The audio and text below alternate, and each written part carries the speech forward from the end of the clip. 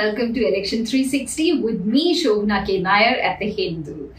Today, we are going to the sugarcane fields of Muzaffarnagar Lok Sabha constituency, which also provides a window to western Uttar Pradesh. But before we make that journey, a short note on what has been happening. We have a very captivating contest on cards in the northeast Delhi constituency, where Congress has recently announced the candidature of former JNU Students Union President Kanhaiya Kumar. In 2019, Mr. Kumar had fought from Begusarai in Bihar as a Communist Party of India candidate. So he has changed both his state and party in the last five years. He is facing singer and two-time BJP MP Manoj Tiwari. Considering both of them are great orators, we have a clash of wits and a war of words on the cards. But more on that later. Prime Minister Narendra Modi has issued yet another clarification on the whole controversy about constitution. Speaking in Gaya on Tuesday, he reiterated that BJP is not planning to change the constitution he also repeated the statement that he made in Barmer, saying that even B.R. Ambedkar cannot abolish the constitution. These clarifications are coming amidst growing fear in the Dalit electorate that changing constitution could translate into end of reservation. Could this become the central theme of the 2024 elections? We'll keep a keen eye on this issue. But for now, we'll be joined by my very perceptive colleague Anuj Kumar, who will act as our navigator in Muzaffarnagar. Welcome, Anuj. Hi.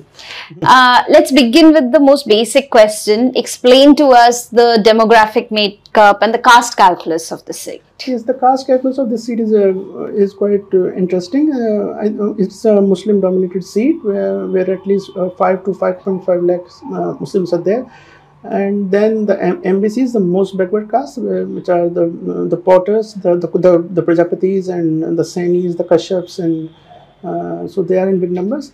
Uh, and then there are Jats, uh, about 1.5 lakhs, and then uh, Thakurs, um, SCs, uh, about 2.5 lakhs and then there are Brahmins and Vash 1 lakh each or something. But who are the yeah. deciding uh, Muslims sort are, of community? Muslims and SCs are, are the deciding factors but uh, the Jats are the socially dominant group, uh, I mean the uh, socially dominant group here.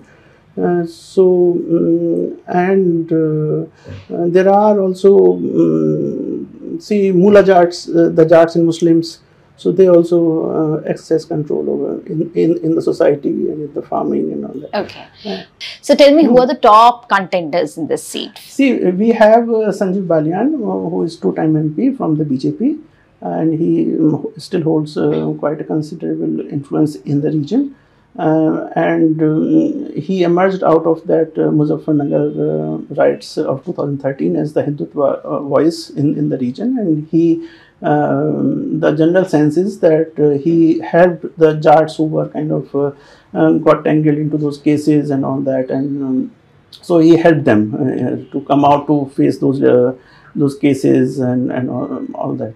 Uh, so uh, he one. He, so that's BJP. There. That's BJP, and then we have Harinder Singh Malik. He's from the India Alliance, the SP candidate, the SP Congress candidate.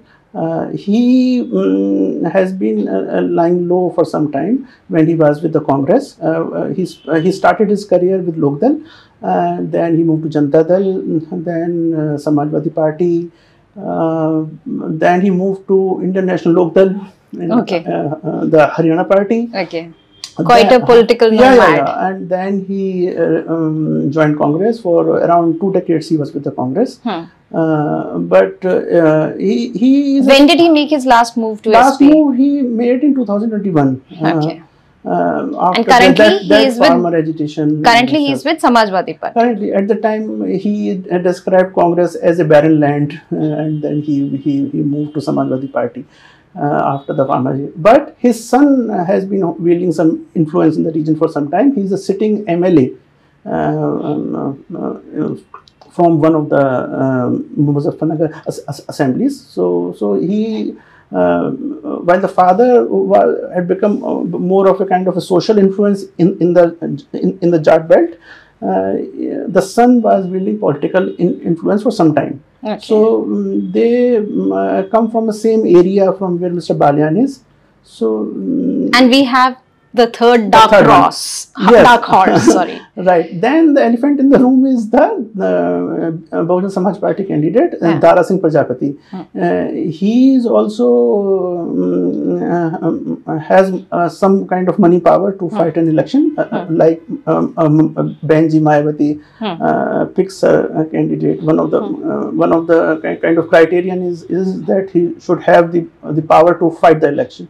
Hmm. So he has that kind of thing, and then he comes from the Prajapati uh, community, and he's the Which first, is which, which is, is uh, comes in the most backward uh, kind uh, uh, caste. So it's the first time that a candidate from the Prajapati community is contesting from Muzaffarnagar area. okay. So that has created some kind of buzz Okay. in in, in the MBCs, Huh. and uh, they have been asking for political representation for some time. And Mr. Prajapati is the chairman of that Prajapati organization, that social or national social organization of these Pra- Prajapatis, Huh. and they took out a march uh, last year um, uh, where they wanted more uh, kind of political representation. So. And all along they have been with the BJP. Hmm, hmm. Uh, so they uh, asked for more political representation, particularly in West UP, Hmm. and they were stopped and uh, mild lathi charge happened and all that. So Hmm. they're carrying that those wounds, Hmm, and now the opportunity has come uh, to take some kind of revenge or some kind of thing that the B- BJP has ignored them. Uh, They have been using their vote for so long. Hmm. In fact, the last election, uh, Hmm. which Mr. Balyan won with just uh, a margin of 6,500 votes, it was the uh, these communities which uh, changed the tide, which turned the tide in his favor Okay. at okay. last minute. So, we need to see whether the discontent spills over, spills over, enough to push enough, him out right, or right, not. Right. But you know, you've been traveling around Muzaffarnagar. So please tell us what are the recurrent themes or complaints that you have heard? Uh, see, uh, uh, this is the place where the uh, from where the farmer agitation emerged.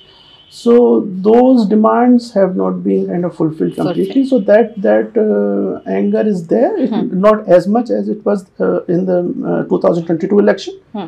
Uh, but it is still there, and the Agni Agniveer because this area pro- provides a lot of kind of uh, is a catchment area for the army, and from uh, from from Jats. Hmm. So uh, it does it no longer looks them to kind of uh, to the Jat fathers and the families a kind of a lucrative career now Hmm. for them if they have to come back and all that. Hmm. So they think that there is some kind of uh, some plan to uh, um, to uh, reduce their representation in the armed forces. Hmm, hmm, So that kind of feeling of discontent is there, Mhm.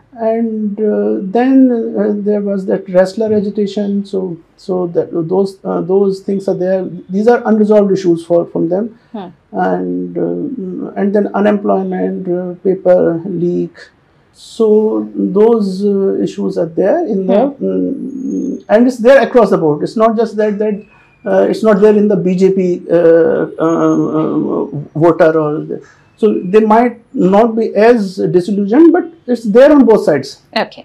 Now, mm-hmm. uh, explain to me, uh, mm-hmm. this election is slightly different from the previous ones mm-hmm. because BJP and RLD are in alliance. Right. And in the last two elections, at least, we have seen that RLD has uh, sort of taken away a significant portion of the votes. Right. So, how now that they are together and the go- uh, BJP has given Bharat Ratna to Charan Singh, Right. how does that play out? Uh, see, it's a it's a tricky thing because um, uh, these uh, two parties are uh, mm, some people say are natural partners, but um, many feel it they are not.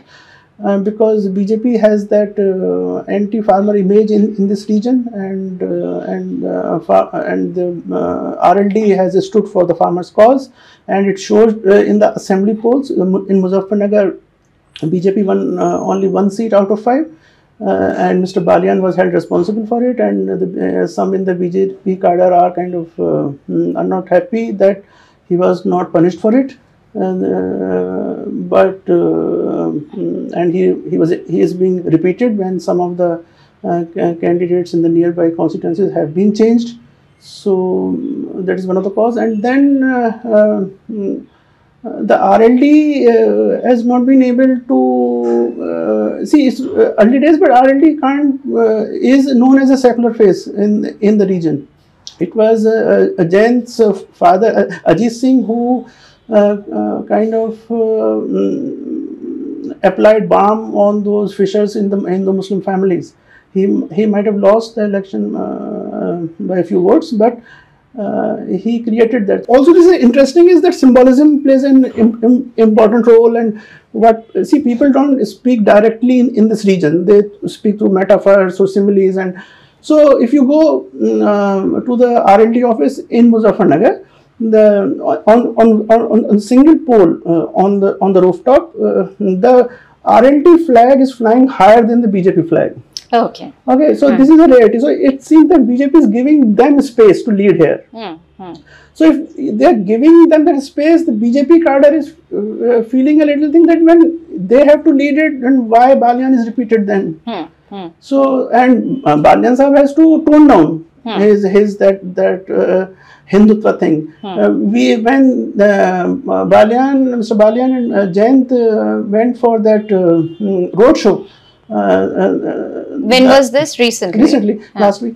So the lotus was in green color, green and white. Oh wow. So these are these are the colors of RLD. Ah. So so they're trying to say, and but at the end of it, uh, on one hand, when uh, uh, Jayant finished his speech, he he wished everybody the this thing for for Navratras as well as Eid. Hmm. So so so uh, and on the other hand, uh, so BJP is not able to polarize it that way at the grassroots. Hmm. Though Yogi ji comes and Yo- Yogi ji speaks fluent Hindi, Hmm. but when he refers to mm, say the mafia that he has controlled, he says uh, their nizam we have brought down, their nizam or the the janaza or the funeral of, of so people think that he's uh, who he is targeting, who, who is referring to. Hmm.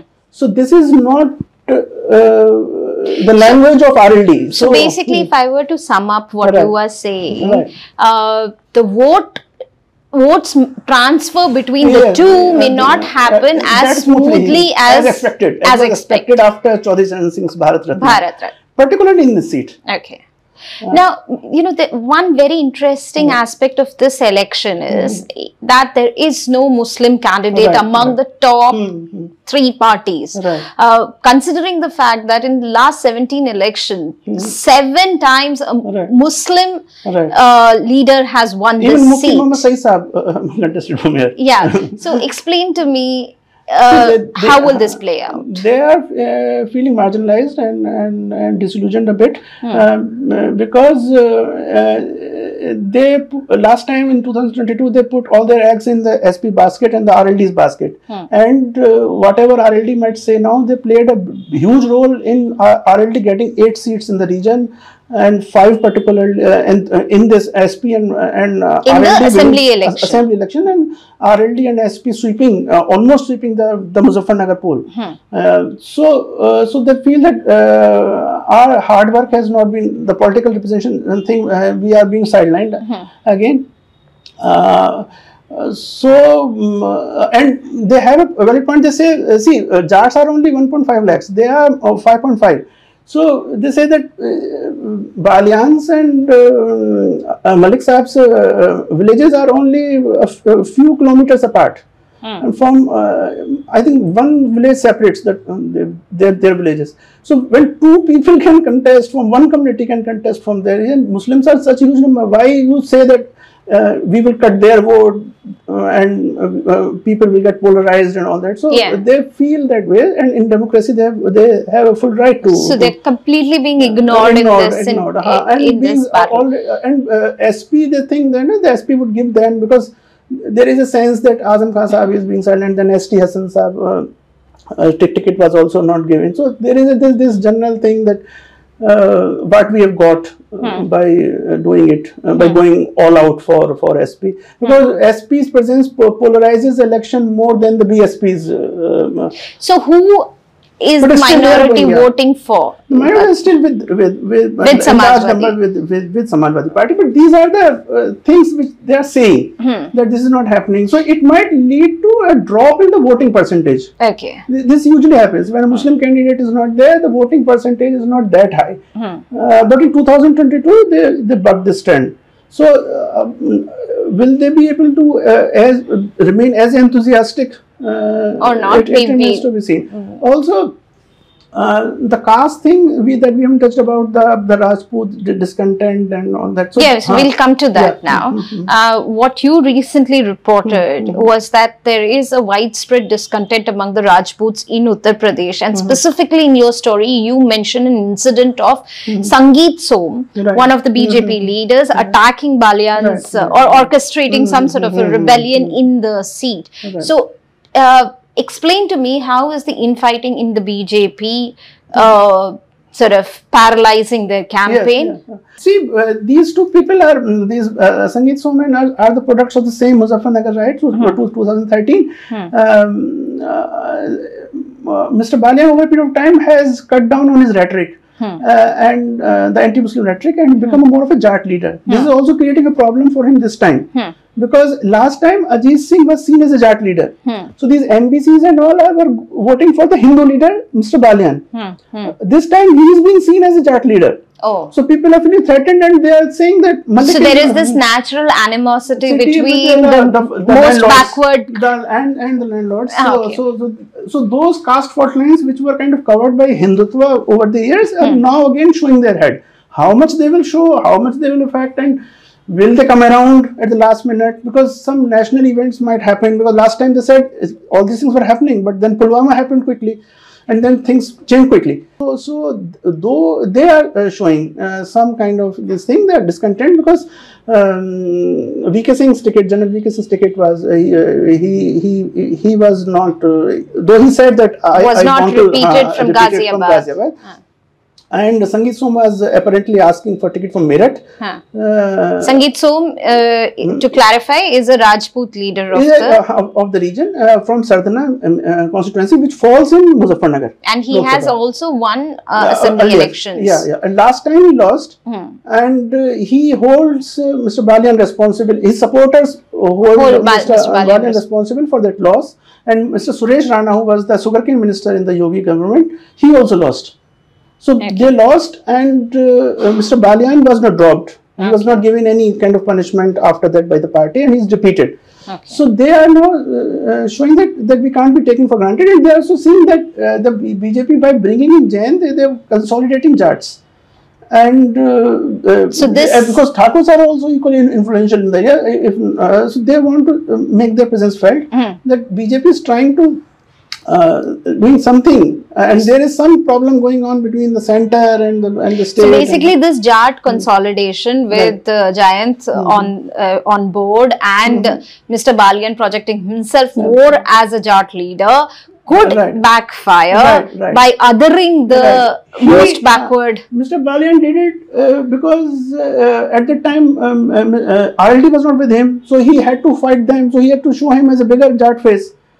But now he's there, but uh, now that image has stuck. So people think that that that uh, only works of a, a particular community are being done and all that. So uh, uh, politics is about what is that uh, patron-client relationship. So obviously, from whatever uh, Anuj has told us, uh, 2024 is not similar to 2019 where there was a clear wave. Here, there are all sorts of discontent bubbling under the surface. Keep tuned to The Hindu for more such inside stories and insights.